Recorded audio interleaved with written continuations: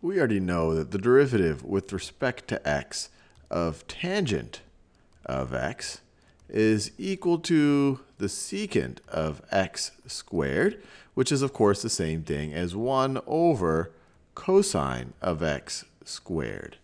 Now what we want to do in this video, like we've done in the last few videos, is figure out what the derivative of the inverse function of the tangent of x is. Or in particular, let's see if we can figure out what the derivative with respect to x of the inverse tangent of x is. And I encourage you to pause this video and use a technique similar to the one, or very close to the one that we've used in the last few videos, to figure out what this is. Well, let's set y equal to the inverse tangent of x. y is equal to inverse tangent of x. That is the same thing as saying that the tangent of y the tangent of y is equal to x. All I've done, you could kind of think of it as I've just taken the tangent of both sides right over here. And now we can take the derivative of both sides with respect, the derivative of both sides with respect to x. And on the left-hand side, we can just apply the chain rule. Derivative of tangent of y with respect to y is going to be secant squared of y, which is the same thing as 1 over cosine of y squared. I like to write it this way. It's, uh, it keeps it a little bit simpler, at least in, in my brain. But when we're applying the chain rule, it's going to be the derivative of tangent of y with respect to y times the derivative of y with respect to x times the derivative of y with respect to x.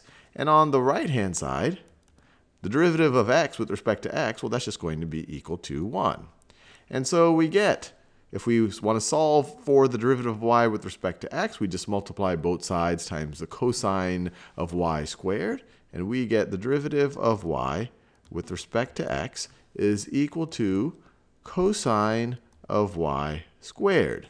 And like we've seen in previous videos, this isn't that satisfying because you know, I've written the derivative of y with respect to x as a, as a function of y. But what we're really interested in is writing it as a function of x. And to do that, we need to express this somehow in terms of the tangent of y.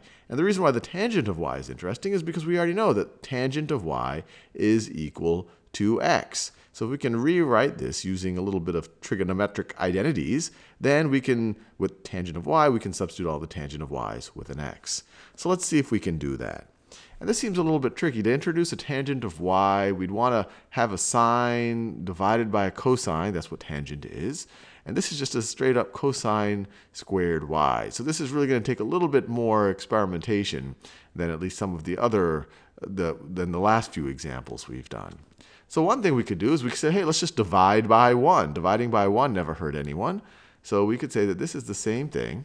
This is the same thing as cosine squared y. And I'm really doing this to, to see if I can in, start to express it as some type of a rational, a rational expression, which might involve, a, at some point, a sine divided by cosine, and I could have a tangent. So let's divide by 1. But we know from the Pythagorean, the Pythagorean identity that 1 is equal to sine squared of y plus cosine squared of y. And so let's write that. Or we could write cosine squared of y plus sine squared of y. Once again, why was I able to divide by this expression? Well, this expression by the Pythagorean identity, which really comes out of the unit circle definition of trig functions, this is equal to 1. So I have not changed the value of this expression. Now, what makes this interesting is if I want to introduce a sine divided by a cosine, I could just divide the numerator and the denominator by cosine squared. So let's do that. Let's multiply 1 over cosine, or let's divide the numerator by cosine squared of y and divide the denominator by cosine squared of y, or multiply each of them by 1 over cosine squared of y. And what's that going to give us? Well, the numerator, these characters are going to cancel. You're just going to have a 1. And in the denominator, this times this, that's just going to be equal to 1. And then you're going to have sine squared, sine squared y over, over cosine squared y. And this is, this is the goal that I was trying to achieve. I have a sine divided by cosine squared. So this right over here, this is the same thing. Actually, let me just write it this way. Let me, let me write it this way. This is the same thing as sine of y over cosine of y, cosine of y, whole thing squared, which is, of course, the same thing as 1 over 1 plus tangent of y, tangent of y squared. This is equal to this. Now, why is that useful? Well, we know that x is equal to tangent of y. So this is going to be equal to, this is going to be equal to 1, 1 over 1 plus tangent of y is equal to x, x squared, x squared, which is pretty exciting. We just figure out the derivative of y with respect to x. So the derivative of this thing with respect to x is 1 over 1 plus x squared. So we could write that right up here.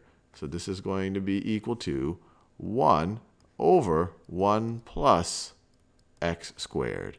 And we are done.